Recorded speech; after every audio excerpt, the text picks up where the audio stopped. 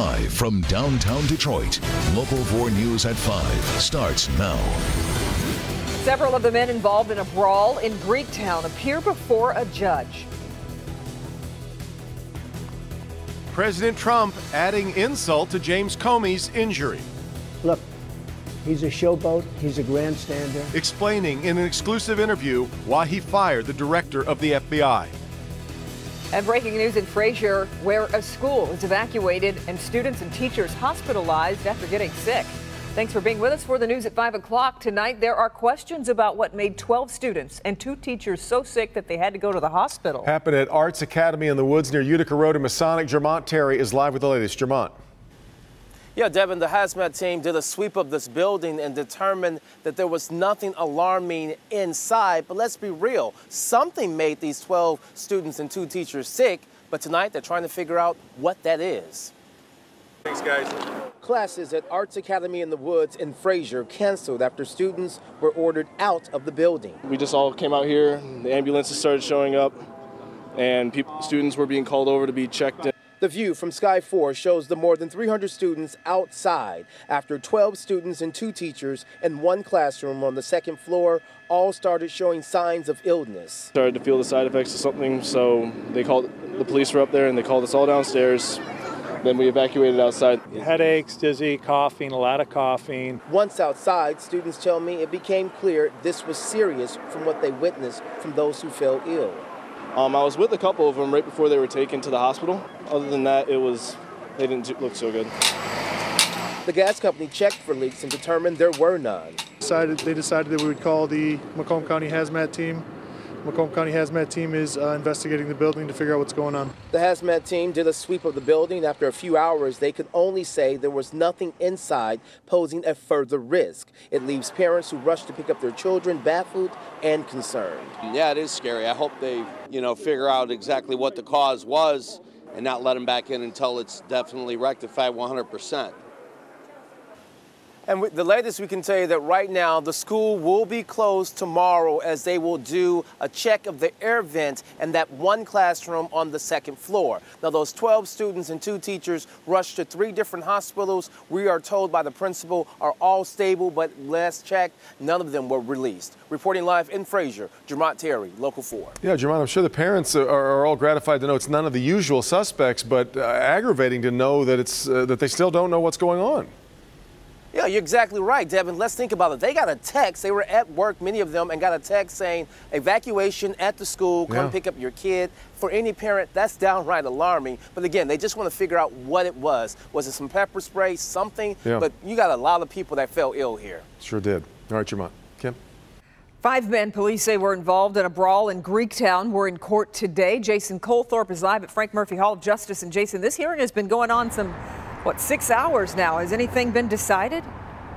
No, it's still going right now, Kim. We're monitoring what's going on inside, and right now I've just uh, learned that another detective has taken the stand. I expected this to adjourn at 5 o'clock, but they have just called a new detective to the stand to talk about surveillance video from that liquor store, which was right next to where the brawl happened. Now, there have been six arrests in this case. Today, five men are in there for their preliminary hearing all with an individual attorney so you can understand why this is taking such a long time.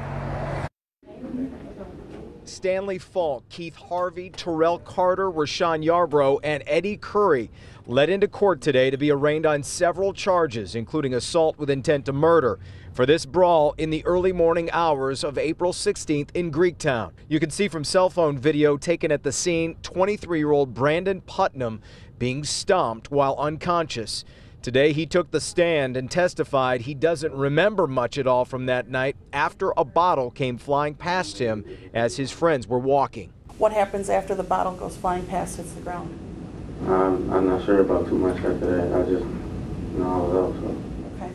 When you say, I know I was out, do you have any recollection of how you became out? No, ma'am. I just woke up in the hospital.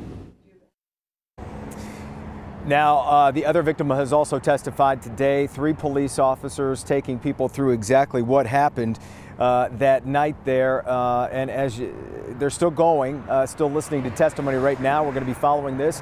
If it adjourns or if uh, they bind, uh, find to send any of these guys on to trial, we'll let you know.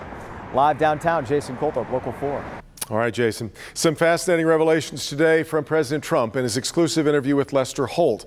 It's his first sit down interview, of course, since abruptly firing the FBI Director James Comey. The president said he called Comey to ask if he, the president, was under investigation. He also said he had planned on firing Comey even without a recommendation from his deputy attorney general. Blayne Alexander has more from Washington. Blayne? And hello to you from Washington. All along, the White House had said that this abrupt termination came after a review by the Deputy Attorney General. But today, the president himself said that he had already decided to fire Comey.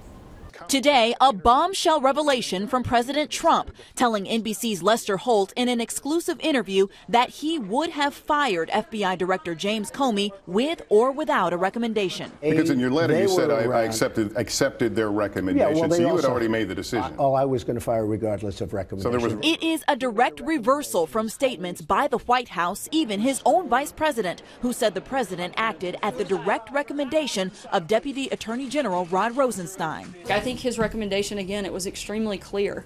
Um, the president, though, makes the decision. The buck stops with him. President Trump also revealing he personally called Comey regarding the investigation. And did you ask, am I under investigation? I actually asked him, yes. I said, if it's possible, would you let me know, am I under investigation? He said, you are not under investigation. It comes as now acting FBI Director Andrew McCabe appeared before the Senate Intelligence Committee, taking what would have been Comey's role at a planned hearing.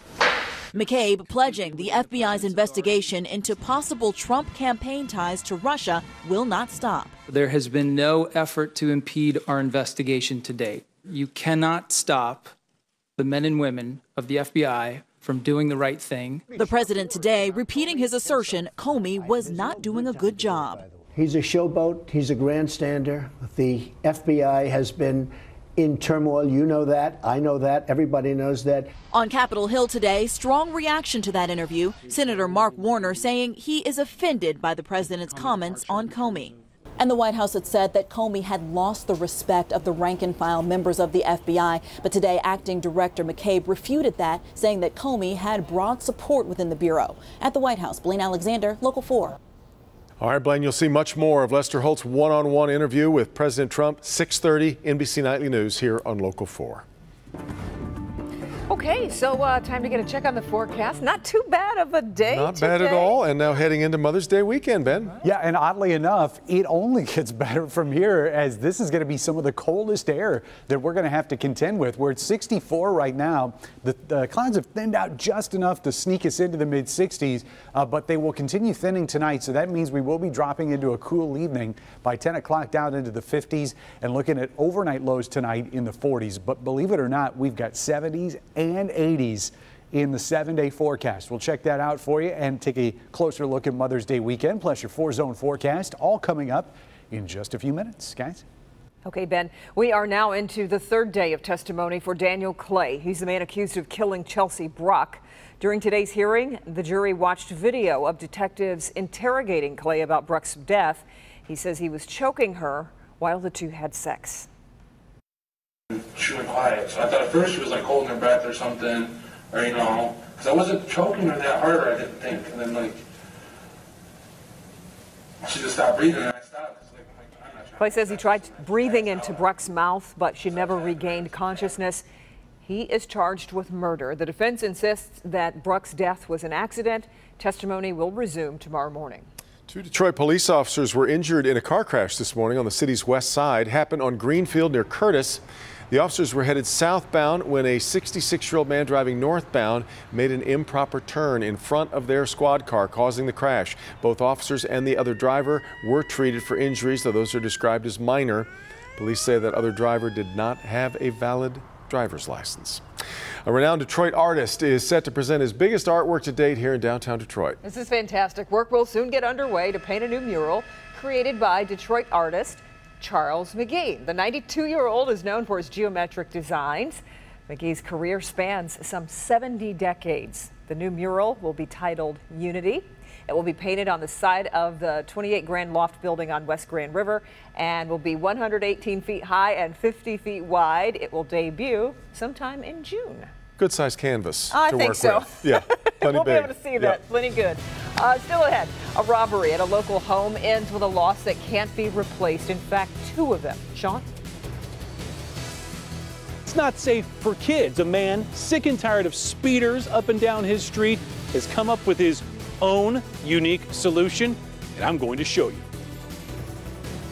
In Clinton Township, a man breaks into a really unique spot, a indoor airsoft range, and the entire thing is caught on camera. Now Clinton Township detectives are hoping you'll be able to pick him out. Tonight.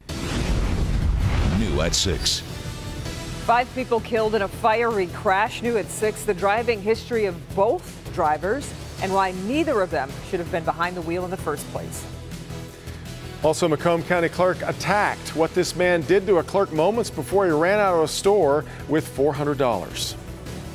Well, tonight, Clinton Township detectives are hoping you might know who this person is. He broke into a shooting range on Gratiot near 16 Mile Road, and as Nick Monticelli reports, he took his time doing so. Well, good evening. Whoever broke into the Motor City Airsoft range here in Clinton Township did so by just ripping open the doors. They're going to fix that. But in the meantime, this isn't necessarily about how much they took. It's about the quality of life and somebody just being violated after somebody breaking into a business.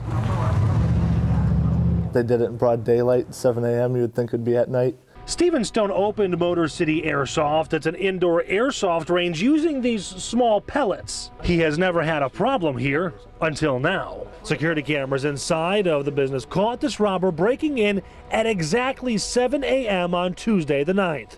He appears to be wandering around almost like he's shopping, not knowing what he wants to take. One minute later, he grabs his first item. You can see in the bottom left hand corner, he picks up that big box. It's a remote control helicopter. Another two minutes go by, and now he has his hands full. A box with combat boots under his arm, and a shopping bag filled with camouflage shirts and pants. And it appears he reaches into the cash register and snags about a $100. All of it happened in just a few minutes. And especially, I mean, the stores next door were opening, so they had employees coming in, and he was just in here walking around. I think he kind of wanted to make it look like uh, he was just somebody that was here, maybe cleaning up or doing something. Stone, though, and the Clinton Township Police Department are confident someone will know who this is because of his mannerisms and the way he walks and his unique jacket, pointing out that old English D with the devil's tail. In all, he grabbed about $800 worth of items in cash. But Stone says it's not all about the money, it's the principle of it. After I got out of the Army, I decided that I didn't really uh, want to work for anybody anymore, so I decided to open up a place that still was kind of military based. In Clinton Township, Nick Monticelli, Local 4. General Motors is extending a warranty on thousands of uh, older model cars and SUVs. Comes after a federal investigation into nearly 130 complaints about low beam headlights suddenly going dark. GM notified dealers on Tuesday it will now guarantee headlight control modules for 12 years or until 150,000 miles is reached. Vehicles getting that warranty extension the 2006 to 2009 Chevy Trailblazers and Envoys, the 2006 Buick Rainier and GMC Envoy XL, the 2006 and 2008 Pontiac Grand Prix, and the 2006 to 2008 Buick LaCrosse. Really nice day as we get yeah. closer and closer to the weekend. You mentioned we've got a lot going on. Mother's Day, things, uh, race, race, for yeah. the cure. Yeah, it's true. All many many that would enjoy nice weather. yeah, and after the start to this month, it isn't going to take a lot to keep people happy. It's true. This, is, this is the 11th day of the month. 10 of them have been below average. Oh wow. The first day was the only time we got above it, but we'll make up for that. Uh, not necessarily today. We were still technically three degrees below average. Uh, we're at 64 right now, but look at how dry that air is 38% relative humidity, and we do have an east northeast wind at 9. The clouds are going to continue thinning tonight, so we're in for a cool finish. Tomorrow, when the clouds return, unfortunately, we may not get to 64, but beyond that, uh, that uh, temperature curve is pretty steep going upwards in one direction. So you can see how the clouds have thinned just early enough to sneak in those mid 60s here this afternoon. Uh, as we get into the next few days, there is not a whole lot of chances of rain, and we'll run that down for you in a few minutes. Only places that are showing up here in the 50s are up to the north, 58 in Sandusky, 57 also in Port Huron. Most of the area is in the low to mid 60s right now, so it's slightly below average, uh, but we're getting there. And you can see beyond that as we go look back to the west, there are some showers here over on the other side of the lake. That is not going to be impacting our weather as we get through the next few days. Clouds do start returning tomorrow, so it's not going to be as bright. We will be seeing mostly cloudy skies through the day. And then as we get into Saturday, generally dry conditions. And if we're really splitting hairs, I think the only possible chance of a shower is going to be in the evening hours. Even that, if it shows up, looks like most of it's going to miss us. I still think the vast majority of the two day stretch over the weekend is going to be dry. Mother's Day weekend looking dry as well. Highs both days, Saturday and Sunday getting close to 70 as we get into the afternoon. But here are the lows tonight as those clouds continue to thin. We're dropping down into the 40s, 45 here in the city, 44 for some of our northern suburbs. South zone temperatures generally the same with some of the warmer numbers out here in Monroe County, cooler numbers further out to the west towards Lenawee County. And in our west zone, all 40s here as well. 40 in Fenton, Flint, you'll be at 41, Novi at 44, and Canton at 45. And we will escape the 30s. Nobody's fallen that far, but it's going to be close here in Lapeer County, right around 40 for lows overnight tonight. And your forecasted highs tomorrow just slightly lower than what we had today at 62 with plenty of clouds around, especially for the first two thirds of the day. Look at the weekend. Not too bad, but next week looks even better. 70s Monday through Wednesday and Thursday's high.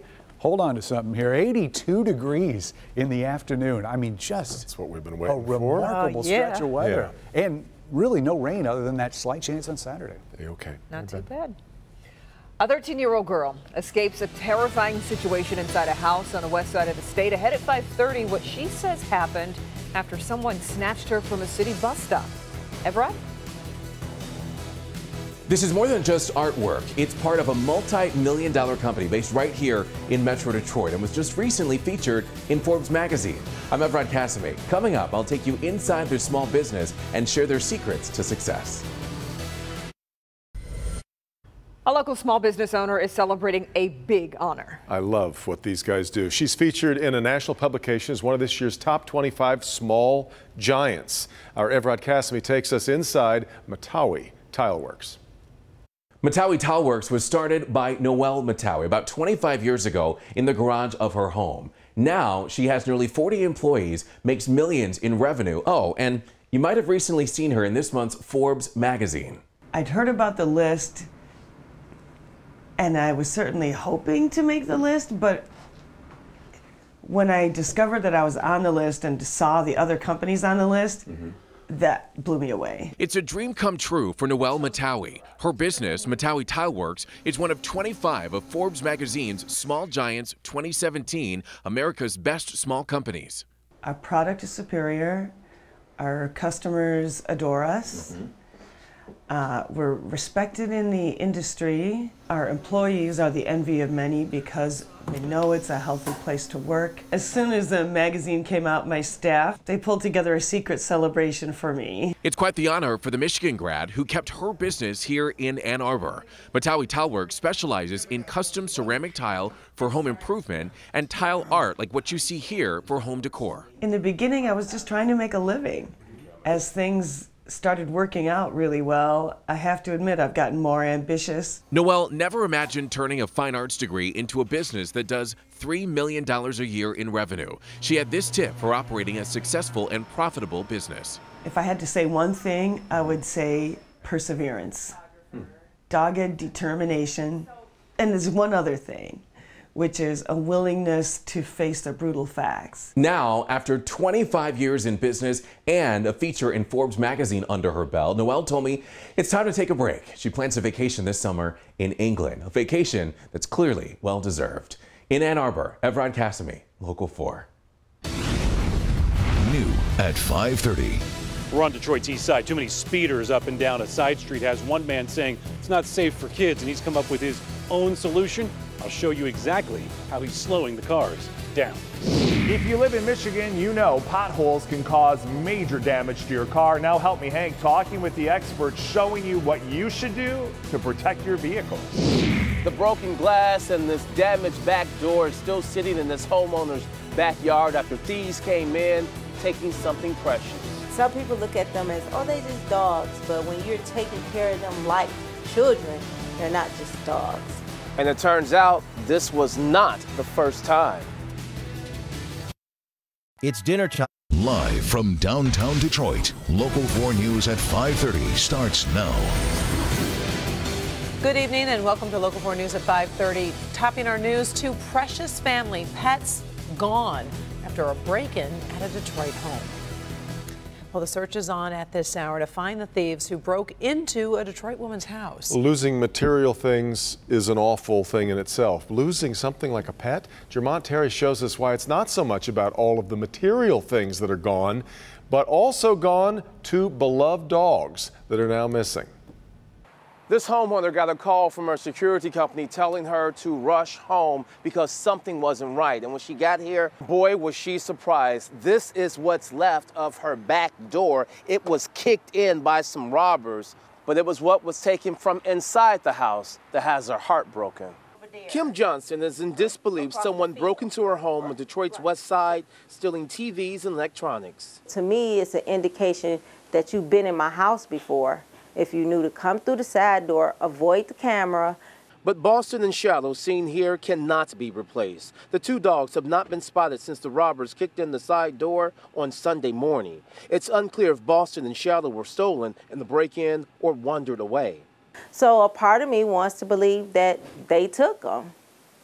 And I don't understand why. And it turns out this is not the first time thieves targeted Kim.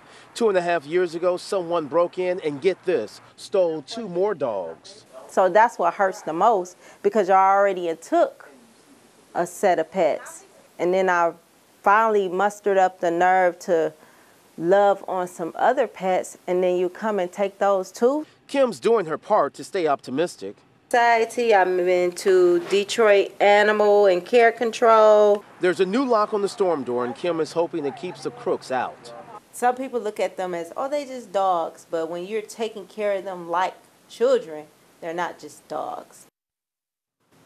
And Kim is hurting tonight. Now, she's, as you mentioned, doing her part to try to find Boston and Shadow. She's checking all the local shelters, but has had no luck since Sunday. Interesting enough, she left her house Sunday morning 10 minutes later, she got that call from the security company. And when she left, she spotted the guy in the blue Passat sitting outside the house. He did not have a license plate on the car. She said she wished she had stuck around and maybe came back in the house. Maybe tonight she would have Boston and Shadow in her arms. This is an open investigation. Reporting live tonight, Jermont Terry, Local 4.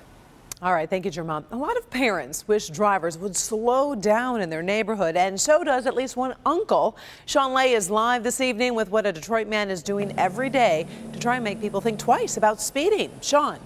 And he's doing it whether police or the city like it or not. Look, we're on Holcomb. East Forest is down here. You've got plenty of kids that live here. You've got cars that are using Holcomb as a drag strip. So Donald Brown lives here. He's putting his foot down. He's putting these cones down. He's trying to get people to slow down. Somehow it's got to stop somehow. Everybody needs an uncle like Donald Brown. We have kids out here that that like to play and ride their bikes and skateboard. Donald picks up his nine-year-old nephew Diavante from the school bus in the afternoon. And for kids, there's nothing better than riding bikes after school. For Donald, it's a constant worry. Drivers going way too fast down Holcomb at East Forest on the city's east side. Speed limit is 35, and I see people going up 50 and don't even stop at that stop sign. What really shook Donald up? Don't, don't panic, they coming. This deadly crash April 13th when a man speeding in a Camaro on the west side crashed into a car of young people, killing two of them. I'm gonna go down the street with it. Donald is taking matters into his own hands by putting out cones in the street every afternoon. I have to keep doing this every day. I'm gonna do it. Like it or not, it's his way to slow drivers down, and it's working. I see some cones. I said, it's enough for me to have at least one from here. Okay, I'll grab one. It ain't stealing because it's enough. He's afraid a child on a bike might roll into the street or a speeding car might jump the curb with tragic results. Cause ain't nobody else gonna do it. Who else gonna go out there and go, oh, I'm gonna get a cone or I'm gonna tell somebody to stop, slow down. I tell people slow down, they, don't, they gonna keep doing it. Donald says he's going to slow those cars down himself with his cones. Look, we've been out here all afternoon. Cars are actually flying down Holcomb. Now, many have stopped or slowed down to get around these cones. Others just kind of blow by them in defiance. But Donald says they're working, and we've seen some evidence of that this afternoon, Karen. All right, Sean, so what do police say? I mean, if people have similar issues with speed on their street, what are they suggesting folks do? Yeah, I just got off the phone with the city. They're saying, look, if you have issues with speeders on your street like Donald does, call your local precinct, call your neighborhood police officer, try to work with them, see if DPD will set up a traffic uh, enforcement situation for you to send the message to slow those cars down. Okay, start handing out those tickets. All right, thank you, Sean. In Kalamazoo, a man is accused of abducting a 13-year-old from a bus stop and sexually assaulting her. The victim called 911 Thursday. She told dispatchers she was being held against her will in the upstairs of this house. The teen said she had been waiting at a bus stop when a man approached her and forced her into his car. After her call, police were able to quickly find the house, and inside they found both the victim and the man now described as the suspect. Officers arrested 39-year-old Dontrell Williams, being held on a felony charge of sexual assault and a charge of kidnapping. Now, a Local 4 News update. The Detroit police officer who was shot in the head last Sunday on the city's west side still listed in critical condition. You recall the suspect in this case was shot and killed by officers. According to the police chief, James Craig, the officer is still in a medically induced coma. Doctors are still struggling to ease the swelling in his brain. In St. Louis, a school bus driver and 13 students were taken to the hospital after crashing this morning. This is where the bus came to a stop, buried behind a wooded area. Police say the driver was trapped for a while and at least one student was ejected from the emergency exit. One of the kids was ejected off, out of the emergency door uh, somewhere from the point when it started going down the embankment to where it came to, the bus came to rest. The bus drivers, you know, we got to give her credit because you imagine what she did keeping that bus upright? I mean, that'd be tough to do. So she kept that bus upright from overturning. 13 children suffered minor injuries. Their driver had moderate injuries. Officials in Missouri say the crash happened when another driver lost control. The school bus driver was trying to avoid that vehicle but went over the guardrail. News from Ohio, chaos in an Akron courtroom as emotion gets the better of a victim's family member. On Wednesday, James Henderson pleaded guilty to killing his best friend and four others. This is a case from 2014.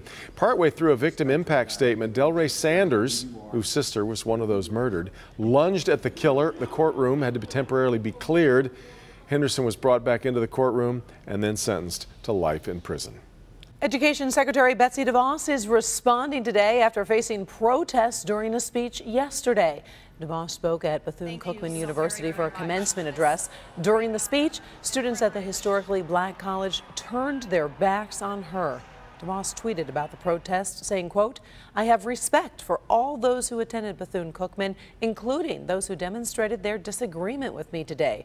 She then posted a picture from the event saying, quote, while we may share differing points of view, my visit and dialogue with students leaves me encouraged and committed to supporting HBCU. If you or someone you know has ever caught uh, the volunteering bug, you know how powerful that can be. Well, as two local friends are learning, giving back can give way to some really big ideas. Mitch Albom has the story of Rod Monson and Larry Gardner in this week's Heart of Detroit.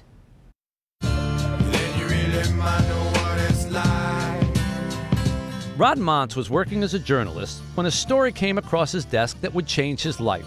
It concerned a nonprofit called Volunteer Impact. They were a group that connected volunteers to nonprofits who needed volunteers. And then when I talked to some of the volunteers, I was impressed by how much they enjoyed being able to give some of their time. And I decided to try volunteering myself, and that really led me on a journey that's kind of changed my life. Rod has been volunteering at area soup kitchens and shelters ever since. He recruited friends and coworkers to volunteer as well, including Larry Gardner. He and I struck up a conversation about photography. Collectively, we decided to do this coffee table book mm -hmm. and sell the book and give the proceeds to COTS. Rod and Larry set out to tell stories. With the support of COTS, they interviewed residents over the last 15 years, bringing their struggles and challenges to light. What do you hope the photographs get across to people? Essentially, I want them to put a face to this story so that they understand these are real people who have endured, some cases, tragedy, in some cases, misfortune, but they are real people who are not unlike you and I and understand that any of us could end up in that situation.